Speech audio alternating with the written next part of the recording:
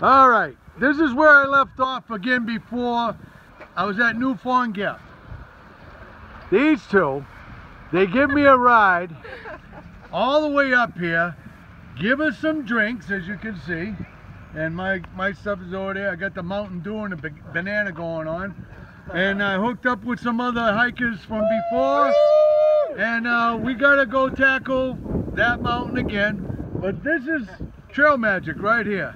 They emptied their car, spun it around, they were gonna come after me. But meanwhile, I got a little ride to a little visitor center and uh, they picked up on me. And uh, I want to thank you both. That, you're so very good for doing everything. Uh, and uh, look at this. These guys are just enjoying it too. All right, man. See you at the top.